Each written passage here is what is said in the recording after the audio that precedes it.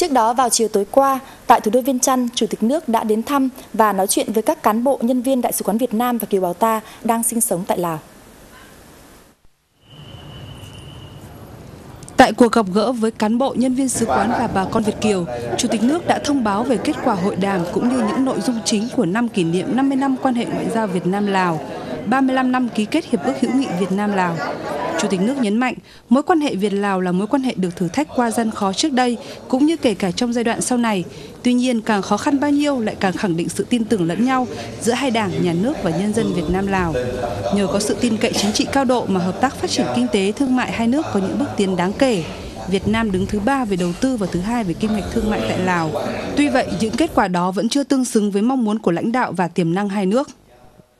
Những cái đường nét mà phát triển, hợp tác hai bên rất rõ ràng.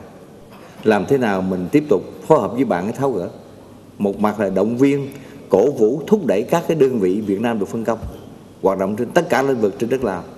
Mặt thứ hai là cũng kịp thời phát hiện để tháo gỡ kịp thời những khó khăn vướng mắt vướng mắt do phía mình, nó gây lên do phía do phía bạn gây lên tức là phối hợp nhau như như người trong nhà để mà tháo gỡ cho được cho được.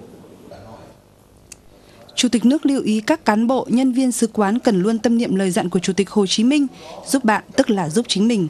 Chủ tịch nước mong muốn sứ quán Việt Nam và cộng đồng kiều bào đang sinh sống tại Lào với vai trò là cầu nối sẽ góp phần làm sâu sắc và bền chặt hơn mối quan hệ hữu nghị đoàn kết đặc biệt, hợp tác toàn diện giữa hai nước, xứng đáng với mong muốn của thế hệ đi trước đã dày công vun đắp.